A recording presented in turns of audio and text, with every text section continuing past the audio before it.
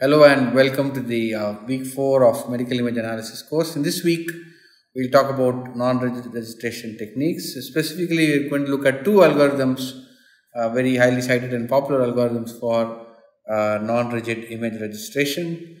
Um, and, and there are several free implementations of these available. Um, we will talk about them in the following week, that is week five. So, in many applications, the transformations that we use for um, registering two images from the same patient even um, they cannot be approximated by rigid transformations or not even affine transformations. Uh, this is because the anatomies might deform and between imaging sessions and um, and that might also be because of the patient's pose. So, for instance, in some applications, the patient lies in the bed for a prolonged period of time, and images are acquired over a particular anatomical uh, location um, but even in that uh, in that situation, because of respiratory motion, uh, there could be some deformations which cannot be approximated by rigid body uh, transformations, right?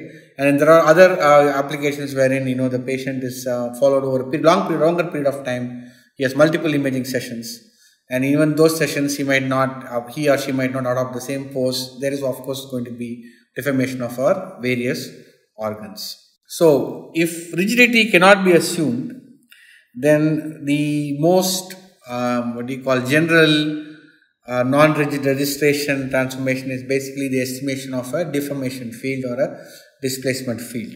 So this is nothing but the uh, uh, estimation of a displacement which is a vector because you need to have components in x, y and z directions. A small displacement for every pixel in the image or in some cases a uh, control points. Uh, there is a, bunch of pixels which you choose as control points. Estimate at least the displacement for those pixels. Okay.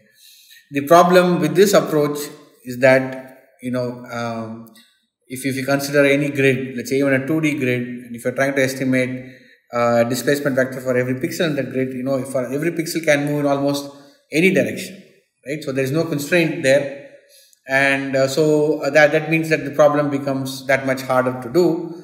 So they then to limit the search space to make it to make it uh, you know doable then you typically have a constraint or a regularization that is imposed on the deformation field or the displacement field okay? So a lot of the algorithms differ on how the displacement fields are regularized and in some cases even how the displacement fields are estimated. So we we'll, we are actually going to look at two different algorithms which estimate the deformation field slightly differently Okay, so this is where you know um, this is the general uh, approach to non-rigid registration. So there has to be an estimation step of the deformation fields and followed by a regularization over the uh, over the estimated fields because uh, then you know so that you can actually uh, limit the search space. So um, once again, so when in, in many problems um, the the, uh, the loss function is regularized so as to obtain you know a displacement field which is which is already you know smooth and constrained and all that. In some cases you know because the algorithm itself the way it's done is that once you estimate the displacement fields you can regularize them. So we're going to look at two different method, methods which do that which what i what i just described in this week. Um, but just to um, reiterate you know this is evidently a very difficult problem and there are lots of issues here still um, and in, and in, and in general, you know, you would do non-rigid registration um, uh, following a rigid registration, right? So you would actually do rigid registration to bring two uh, images close enough, and then you would do the non-rigid registration following that, so that you know these uh, displacement fields that you estimate as part of the non-rigid registration algorithm, uh, they basically the displacement fields are, are the uh, transformation vectors, right? And um, they, they can only be very small. So you can't, so if you do very large deformations per pixel, you would end up doing something unphysical. And you know, for instance, you know, you know, uh, breaking the image into two, etc. Those are not allowed transformations. So typically these displacement field estimates, they only work for very small displacements. Um, you know, small in comparison to the organ of interest, you know, and, and in general, what could be, you know, uh, feasible displacements that problem allows.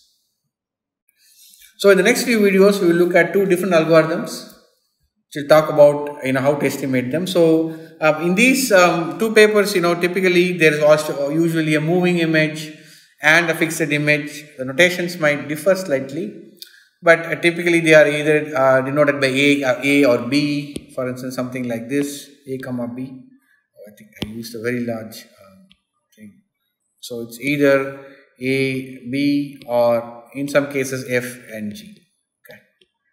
F and G is more commonly used, I think, but anyway, so these are pairs of images. One you would consider as the moving image, typically G, and the other one you would consider as the fixed image.